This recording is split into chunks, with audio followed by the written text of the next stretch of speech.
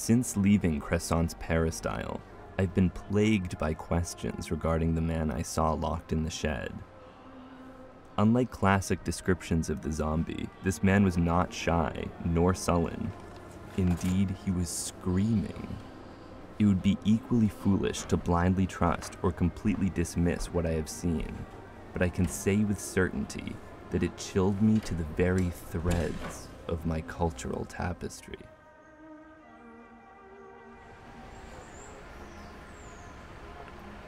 Today, I'm going back to the rice fields of Artibonite to collect the potions that Crescent has promised.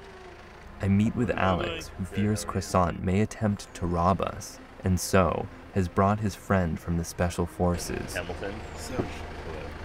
Serge serves as the personal bodyguard to the president's sister's husband.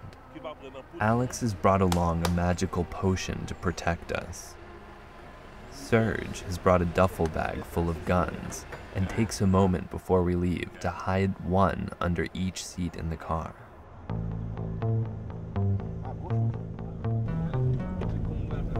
Again, we drive for many hours and find the roads completely blocked with a large funeral procession supporting a wooden coffin.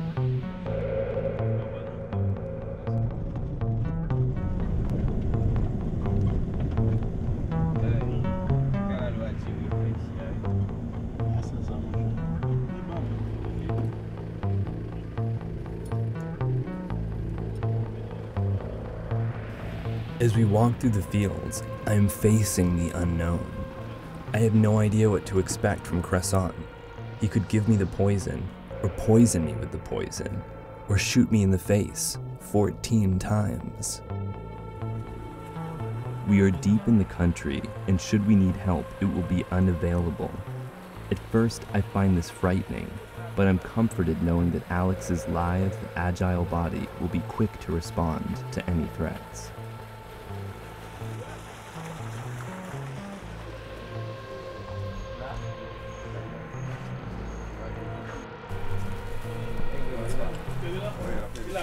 Monsieur Bouton, ti moun Eti, pou... eti.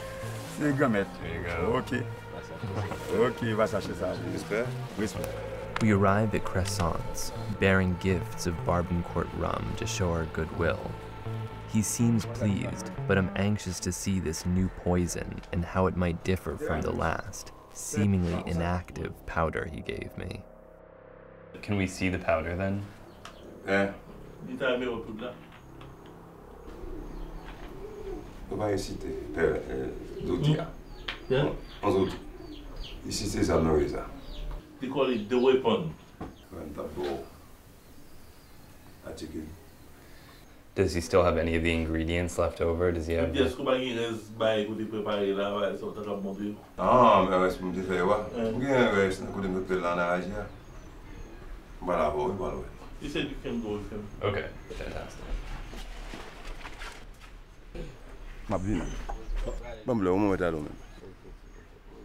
Yon va mbap di yon nou, mbalo. Crescent offers to let me see the laboratory where he concocts his leaf medicines, but he says that I must accompany him alone, so Alex stays behind.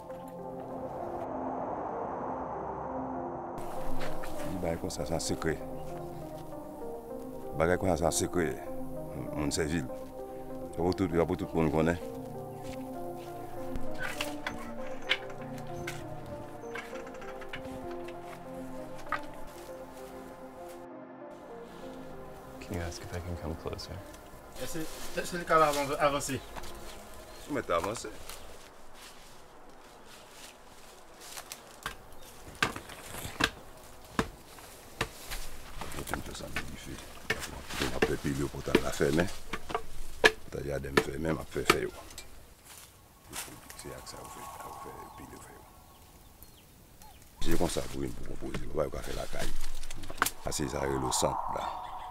Se lwak te, lwak te fe tretman.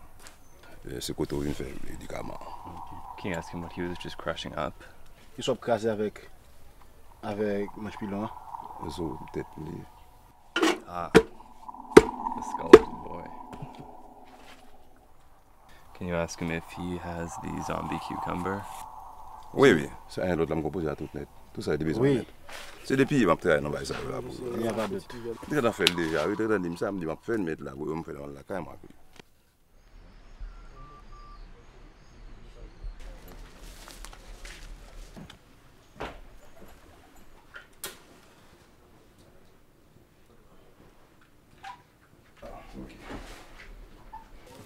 La fèl wèl. The powder is retrieved from a child's coffin and presented to me. I'm delighted to find he has given me not only a poison, but also a new powdered antidote. Salut That's the brown container? Yeah. Salut de fête. Mhm. Encore la réveiller l'enfant. How much money does he want for those two bottles? Il dit combien qu'on nous besoin pour deux bouteilles ça Ok.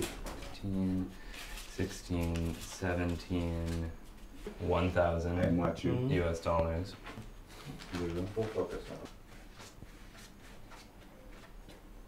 C'est ça.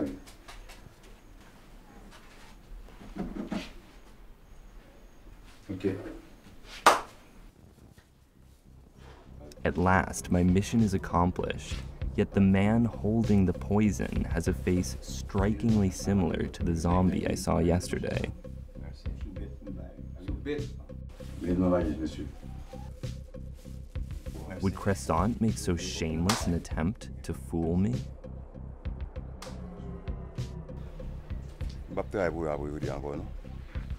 vais pour travailler, ou deux ou trois, c'est un bon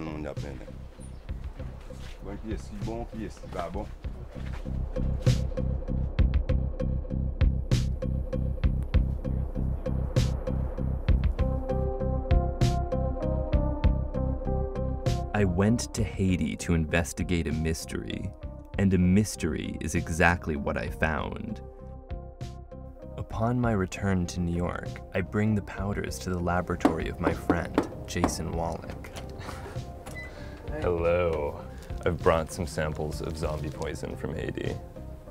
Great. All right, we can look and see what's in these. He subjects the powder to extensive chemical analysis, Say 100 milligrams, probably good to start.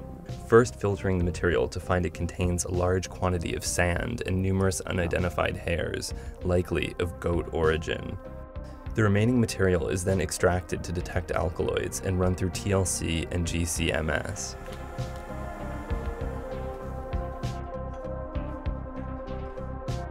When he is finally finished, we can say that we know for certain the secret ingredients allyl alcohol and methylparaben, two non psychoactive chemicals commonly found in cosmetic products.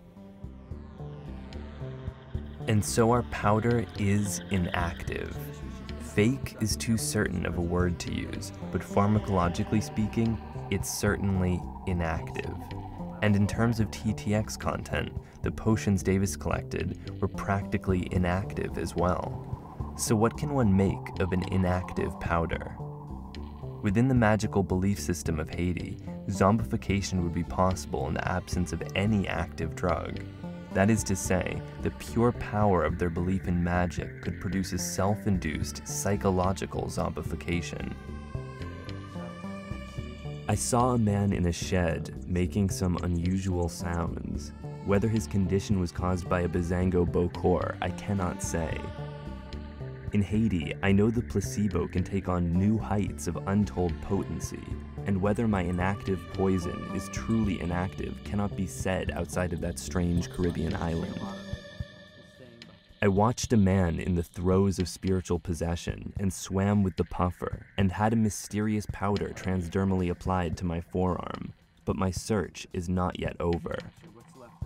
I promised the goddess Erzuli that I would return to Haiti, and I have no intentions of breaking her vengeful heart.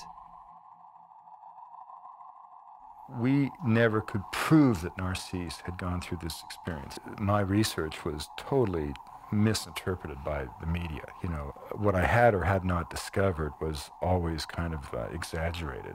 I was sent down to Haiti by kind of linear, rational Descartesian scientists to quote unquote find the drug that's used to make zombies. Well, no drug can make a social phenomenon. And in the end, instead of finding the drug used to make zombies, I, I found myself, you know, investigating the, the sort of the social and psychological and spiritual and political and historical dimensions of a chemical possibility. And the whole purpose of the research in the end was not to sort of prove zombies existed, which it did, but really to take a, take a phenomenon that, as I say, had been used in this explicitly racist way and turn it on its head, make sense out of sensation, and in doing so, try to draw attention to the preconceptions and misconceptions and uh, that we had about this extraordinary worldview of Haitian voodoo, and that this was not a black magic cult, but this was a kind of amazingly complex metaphysical world.